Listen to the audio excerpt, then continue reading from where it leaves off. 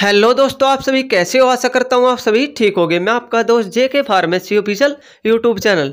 आज हम बात करेंगे कैल्सीरोल सेचेट के बारे में बात करेंगे। इसका क्या यूज़ रहता है उसके बारे में बात करेंगे।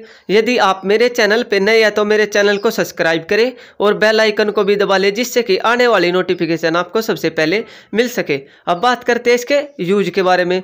किसी को कमज़ोरी आ गई हो, बुखार के कारण जो कमज़ोरी आती है, उस कंडीशन में भी इसको दिया जाता है। किसी को मसल्स पेन रहता है, उसमें भी इसको दिया जाएगा। किसी को ज्वाइंट में दर्द रहता है, उस कंडीशन में भी इसको दिया जाता है। अब बात करते हैं इसको, लेना कैसे है? इस एक सचेत को हफ़्ते में एक बार लेना होता है और वो इसको दूध में डालकर इसको लिया जाता है। अच्छा रिज़ल्ट आपको जब इसका मिलेगा।